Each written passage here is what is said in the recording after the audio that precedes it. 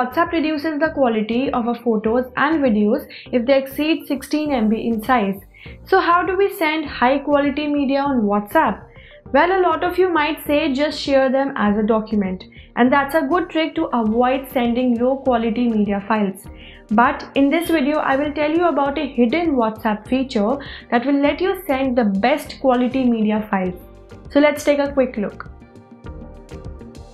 Just open WhatsApp on your iPhone and go to settings.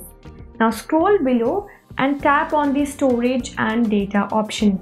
You will find lots of features here but we will go to media upload quality.